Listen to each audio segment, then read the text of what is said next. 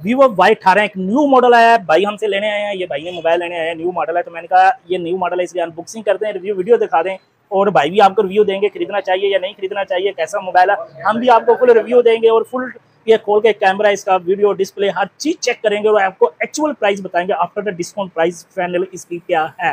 तो हमारा YouTube channel subscribe कर लें बेल आइकन ज़रूर प्रेस कर लें अनबॉक्सिंग करते हैं, देखते हैं बुक्स में देखने को क्या मिलता है। ये देखो मोबाइल हमारे पास आ चुका है तो फाइनली हम डिवाइस देखते हैं सबसे पहले। ये हमारे पास डिवाइस है। डिवाइस को बाद में देखते हैं। पहले हम बुक्स में देखें, हमें क्या क्या देखने को मिल रहा है। बुक्स में एक स्टिकर हमें मिला है, जो कि बकवास है। एक हमें ये खाली सा दफ्तर मिला है। इसके साथ हमें एक सिलिकॉन केस मिला है, जिसकी क्वालिटी काफ़ी अच्छी है, काफ़ी लाइट वेट है गुड है। और इसके साथ हमें एक अडाप्टर मिला है, ये देखें। और इसके साथ हमें एक टाइप सी डाटा केबल मिली है। देन एक पेन मिली है। सिम निकालने के लिए जैक टूल किसको कहते हैं? हैंड फ्री नहीं है। बाकी ओवरऑल मोबाइल में हैंड फ्री वैसे आना बंद हो गई है। डिवाइस कैसी डिवाइस है? बहुत ही खूबसूरत डिज़ाइन के साथ डिवाइस की गई है। ऊपर ग्लास ये जो मोबाइल है ना, ये जो कैमरे लगे हैं, इसके साथ जो टच दिया है उन्हें ऐसे लग रहा है जैसे ग्लास है। ये बॉडी लहरा है ये लहरा नज़र आ रहा है। ग्लास की शेप में नज़र आ रहा है, जो कि बहुत खूबसूरत और ब्यूटीफुल है। और इसमें हल्का हल्का डिज़ाइन है अगर मेरा कैमरा मैन दिखा सके तो काफ़ी वीवो लिखा हुआ है। काफ़ी अच्छा खूबसूरत डिज़ाइन दिया गया है। नीचे की तरफ़ देखें तो हमें यहाँ पे हैंड फ्री मिल जाती है three point five audio jack type C charger मिल जाता है, साथ में मैक मिल जाता है। यहाँ पे वॉल्यूम अप डाउन मिल जाता है और साथ में फिंगरप्रिंट मिल जाता है, ऊपर की तरफ़ हमें स्पीकर मिल जाता है। इस दो सिम और एक एस कार्ड का टूल मिल जाता है, ये हमारे जो मोबाइल का ओवरऑल डिज़ाइन है। ओके अब मैंने मोबाइल को मज़ीद ऑन करते हैं और सेटअप करके दोबारा मिलता हूँ। हम डिस्प्ले की बात करें तो भाई इसमें जो ब्राइटनेस दी गई है, बहुत ही अलग क्वालिटी की दी गई है। हम मोबाइल से जो वीवो वाई स्टार है ना, उसे इन्होंने ये 120 का आठ पे टेन एटी रिफ्रेश रेट पे दिया है।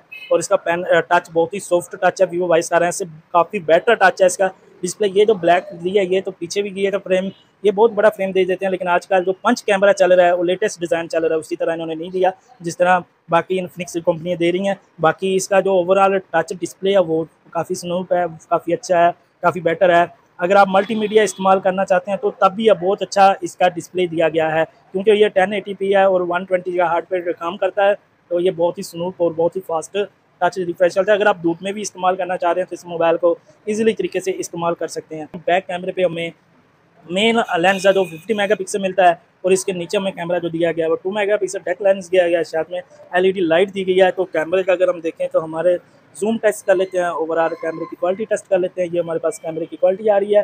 तो मोबाइल फ़र्स्ट टाइम हुआ है ओपन एग्रीमेंट कर लेते हैं। तो ये देखिए, ये जूम है इसका।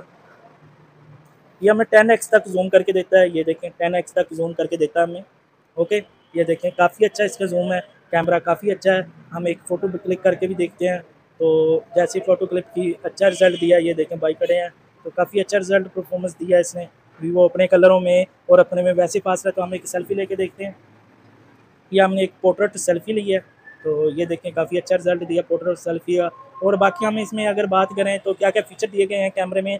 तो कैमरे में नाइट फ्यूचर मिल जाता है पोर्ट्रेट मिल जाता है फ़ोटो मिल जाता है वीडियो मिल जाती है मोर में जाके आपको जो लाइट लाइटली फीचर होते हैं वो मिल जाता है। मैं आपको बताता जाऊँ, इसमें आप टेन एट्टी तक video ten eighty thirty F तक वीडियो रिकॉर्डिंग कर सकते हैं बैक और फ्रंट कैमरा फ्रंट कैमरा आपको एट मेगा दिया गया है।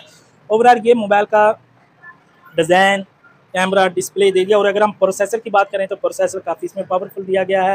मीडिया टेक का जी नाइन्टी नाइन प्रोसेसर दिया गया है, जो तो काफ़ी सॉफ्टली वर्क करता है। लेकिन जैसे जैसे इनके मोबाइलों की प्राइस कम करते जा रहे हैं, वैसे वैसे मोबाइलों का मैार भी कम करके जा रहे हैं, लेकिन स्पीड काफ़ी अच्छी है, बेटर है, आपको कहीं पर मायूस होने नहीं देगा।